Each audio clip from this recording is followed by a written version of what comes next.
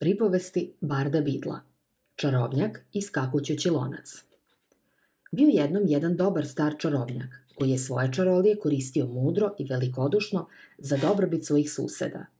No, umesto da im otkrije pravi izvor svojih moći, pretvarao se da njegovi napici, čini i protiv otrovi, sami od sebe niču iz malenog kotla koji je nazivao svojim srećnim kuhinskim loncem. Ljudi su dolazili sa svih strana i prelazili silan put ne bi li mu iznali svoje nedaće, a čarobnjak bi drage volje promešao lonac i ispravljao nepravde. Taj svima dragi čarobnjak doživao je duboku starost, a zatim je umro, ostavivši sav svoj imetak sinu jedincu. Taj sin je bio sasvim drugačije čudi nego li njegov krotki otac. Oni koji nisu umeli da se bave magijom, bili su bezvredni u sinovljevim očima, pa se često protivio očevom običaju da pomaže njihovim susedima pomoću čarolija. Nakon očeve smrti sinje u starom kuhinskom loncu pronašao smo tuljak sa svojim imenom. Otvorio ga je, nadajući se da će zateći zlato, ali je umesto toga zatekao samo mekanu papuču s debelim džonom, premalu da je sam nazuje, a koja i onako nije imala svoj par. Na parčetu pergamenta unutar papučice pisalo je Od sveg srca se nadam da ti nikada neće ustrebati sine moj. Proklinjući očev starošću pomoćeni um, bacio je papuču natrag u kotao, nameran da je u buduće koristi umesto đubrovnika. Te večeri na ulazna vrata mu zakuca jedna seljanka. Boluje mi unuka, poiskakale su je silne bradavice, gospon, reče mu ona. Tvoj otac je umeo da smuti poseban melen u tom starom loncu. Gubi se, povika sin. Šta mene briga za tvoje derište i njene bradavice? I zalupi starici vrata u lice – Istog časa iz kuhinje se začu glasan tresak i čangrljanje. Čarobnjak pripali vrh svog štapića i otvori vrata, a tamo, na svoje čuđenje, ugleda očev stari kuhinski lonac. Na njemu beše iznikla mesingana nožica, da je sada njome cupkao u mestu nasred poda i pravio stravičnu buku udarajući o kamene ploče. Čarobnjak mu zabezeknuto priđe, ali brže bolje ustuknu kada spazi da je čitava površina lonca prekrivena bradavicama pogana stvari. Povika te najpre pokuša da učini da lonac nestane, zatim da ga magijom očisti, a na posledku i da ga na silu izbaci iz kuće. Međutim, nijedna njegova čin nije delovala, pa nije uspeo da spreči lonac da skakuće za njim dok je izlazio iz kuhinje, prateći ga na sprat do njegovog kreveta, glasno tandrčući i lupajući o svaki drveni stepenik. Čarobnjak je celu noć probdeo, jer mu zveket Bradavićevog starog lonca kraj njegovog uzglavlja nije dao mira. A narednog jutra, kad je pošao da doručkuje, lonac je odlučno nastavio da skakuće za njim do stola. Zvek, zvek, zvek. Tresko je lonac s mesinganom nožicom, a čarobnjak još nije stigao ni da okusi kašu, kad neko opet zakuca na vrata. Na pragu je stajao neki starac. Moja stara magarca, gospon, objasni on. Izgubila se ili ukradena, a bez nje ne mogu da doteram robu na pijac, pa će mi porodica noćas ostati gladna. A ja već sada gladujem. Zagrme čarobnjak i zalupi starcu vrata pred nosom. Zvek, zvek, zvek. Lupala je mesinga na nožica kuhinskog lonca o pod, ali se sada njen zveket mešao s magarećim njakanjem i gladnim ljudskim hroptajima koji su odjekivali iz dubine lonca. Stani već jednom, umukni. Brišto je čarobnjak, ali ni sve njegove magijske moći nisu mogle da učutkaju Bradavićavi lonac, koji mu je čitav dan skakutao za petama, njišteći i stenjući i zvekećući, ma kut pošao i ma šta radio. Te večeri on po treći put začu kucanje na vratima i na pragu ugleda mladu ženu koja je jecala kao da je se srce slama. Moja beba je grdno bolesna, reče ona. Hoćeš li nam pomoći kad te molim?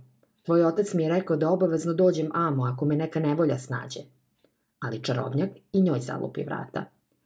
Na to se mučiteljski lonac do vrha ispuni slanom vodom, prolivajući suze po podu dok je skakutao, njakao i hroptao, a po njemu nicale nove bradavice.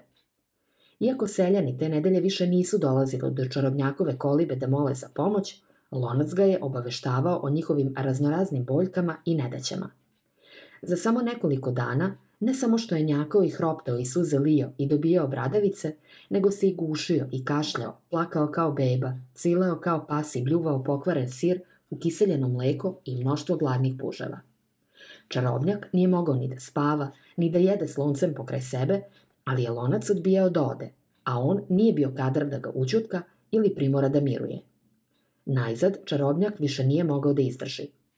Recite mi sve svoje probleme, sve nedaće i brige. Povikao je i odjurio u noć, dok je lonac skakutao za njim putem što vodi ka selu. Hodite, dajte da vas izlečim, iscelim i utešim. Ponovo sam očev kuhinski lonac sa sobom i svima ću vam pomoći. I dok je gnusni lonac i dalje cupkao iza njega, on potrčan iz ulicu, bacajući čini na sve strane. U prvoj kući devojčici nestadoše bradavice dok je spavala. Izgubljena magarica je prizvana iz dalekog šipkovog grmlja i nežno položena u svoju štalu. Bolesna beba je polivena rastorom jasenka, te se probudila zdrava i čila. U svakoj kući gde su vladali bolesti tuga, čarobnjak je dao sve od sebe, pa je polako i kuhinski lonac pored njega prestao da hropće i da kašlje, te je postao tih, sjajan i čist. Dakle, lonče, tresući se, upita čarobnjak u osvit zore. Lonac podrignu i ispljunu onu papučicu koju čarobnjak beše ubacio u njega, te mu dopusti da je navuče na mesinganu nožicu. Zajedno se zaputiše nazad ka čarobnjakovoj kući, a bat lončevo koraka najzad se priguši. Ali od tog dana nadalje, čarobnjak je pomagao seljanima baš kao i njegov otac pre njega, da lonac slučajno ne bi izuo papuču i ponovo počeo da skakuće. Albus Dumbledore o čarobnjaku i skakućućem loncu. Dobri stari čarobnjak je rešio da svog bezdušnog sina nauči lekciju time što će mu dati uvid u jade obližnjih normalaca. U mladom čarobnjaku se probudi savest i on pristane da koristi magiju za dobrobit svojih nemagijskih komšija. U pitanju je prosta i dirljiva skaska, rekli biste, te biste ispali naivni tupađija – Pronormalska priča u kojoj je otac koji voli normalce prikazan kao moćniji čarobnjak od svog normalomrzačkog sina. Pravo je čudo što je jedan primerak ove priče u izvornom obliku umakao ognju u kojem su tako često završavali. Bidl je, zbog svog propovedanja bratstva s normalcima, donekle bio u raskoraku sa svojim savremenicima. Početkom 15. veka progon veštica i čarobnjaka je uzimao maha širom Evrope – Mnogi članovi magijske zajednice smatrali su iz sasvim opravdanih razloga da je ponuditi se da bacite čini na bolesno prasa svog normalskog komšije ravno prijavljivanju da prikupite drva za sobstvenu lomaču. Naravno, istina je da su pravi čarobnjaci i veštice prilično vešto umeli da umaknu lomači, panju i omči. Međutim, ipak je došlo i do nekoliko smrtnih slučajeva – Ser Nikolasu de Mimzi Porpingtonu za života dvorskom čarobnjaku, a za vreme smrti duhu Grifindorskog tornja, oduzeli su čarobni štapić pre nego što su ga bacili u tamnicu, te nije bio u prilici da pomoću čarolija izbegne pogubljenje. A čarobnjačke porodice su najčešće gubile najmlađe članove, koji su bili laka meta normalskim lovcima na veštice, jer nisu bili u stanju da kontrolišu vlastitu magiju.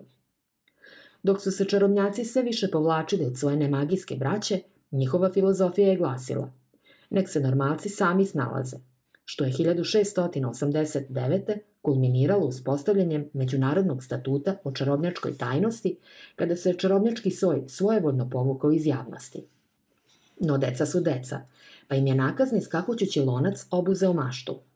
Rešenje je bilo da se izbaci pronormalska pouka – a da se zadrži Bradavičavi kotlić, te već sredinom 16. veka među čarobnjačkim porodicama kolala znatno drugačija verzija ove pripovesti. U revidiranoj priči, skakućući lonac štiti nedužnog čarobnjaka od njegovih komšija naoružanih bakljama i vilama, tako što ih oteta čarobnjakove kolibe, te ih jednog po jednog proguta. Na kraju priče, kada je lonac već proždarao većinu njegovih komšija, preostali seljani svečano obećavaju čarobnjaku da će ga pustiti da se na miru bavi magijom. Zauzvrat, on naredi loncu da vrati svoje žrtve, te ih on izbljuje neznatno osakaćene.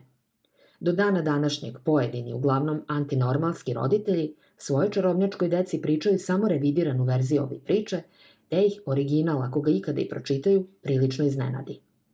Međutim, kao što sam već nagovestio, pronormalska pouka nije jedini razlog tome što je priča čarobnjak i skakućući lonac izazivala gnev javnosti.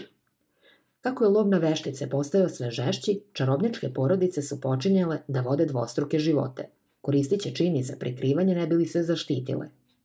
Do 17. veka svaki čarobnjak koji se svojevoljno družio s normalcima bio je sumnjiv, čak i prokažen od strane svoje zajednice. Među mnogim uvredama koje su upućivane pronormalskim vešticama i čarobnjacima, iz tog perioda datiraju sočni epiteti kao što su blatovalj, balegolis i šljamoljub, bila je i optužba da je njihova magija slaba ili inferiorna. Uticajni čarobnjaci te epohe, kao što je Brutus Malfoy, urednik antinormalskog glasila Veštački rat, širili su stereotipe da normaloljubci nisu nimalo čarobniji od poruga. Poruge su deca čarobnjačkih roditelja koje sama ne poseduju čarobne moći. Takvi slučajevi su izuzetno redki. Znatno su učestaliji slučajevi veštice i čarobnjaka normalskog porekla. Brutus je 1675. napisao Sa sigurnošću možemo zaključiti da je svaki čarobnjak koji gaji naklonost prema normalskom društvu nisko inteligentan, te da su mu magijske sposobnosti toliko slabe i ništavne da se može osetiti nadmoćnim samo ukoliko se okruži normalskim svinjoljudima. Nema jasnijeg pokazatelja slabe magije od sklonosti ka nemagijskom društvu. Te predrasude su na posledku zamrle, zahvaljujući neporecivim dokazima da su neki od najgenijalnijih čarobnjaka na svetu, kao što je moja malenkost, da se poslužim uvreženim izrazom normaloljubci. Poslednja zamerka na račun čarobnjaka iz kakućućeg lonca i danas je aktuelna u određenim krugovima. Najbolje ju je formulisala Beatrice Bloxam, autorka ozloglašenih pečurkinih pričica – Đablok sam je smatrala da su pripovesti Barda Bidla štetne po omladinu zbog njihove nezdrave zaokupljenosti najstravičnijim temama, kao što su smrt, bolest, krvoproliće, opaka magija, nemoralni likovi i sve vrste najgnusnijih telesnih izlučevina i pražnjenja.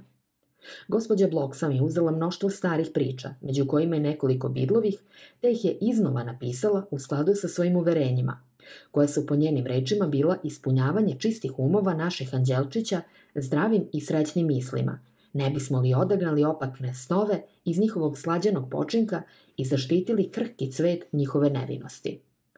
Poslednji pasus upeglane i sladunjave prerađene verzije čarobnjaka iz kakućućeg lonca glasi U to zlatni lončić zaplese od radosti na vrhovima svojih cakanih prstića. Hopa cupa, hopa cupa cup. Mali Miša je svim lutkicama izlečio bolesne tibe, što je Lončić toliko usrećilo da je postao pun džakonija, kojima je poslužio malog Mišu i lutkice. Ali ne zaboravi da posle opereš svoje zubiće ljubiće, povika Lončić. A mali Miša poljubi i zagrli Lončić skočić i obeća mu da će uvek pomagati lutkicama i da više nikad neće biti namćor i mrgut. Brojne generacije čarobnjačkih mališana imale su istovetnu reakciju na priču gde Bloksam nekontrolisan poriv za pljuvanjem, praćen zahtevom da im se knjiga istog časa skloni skočiju i kašira.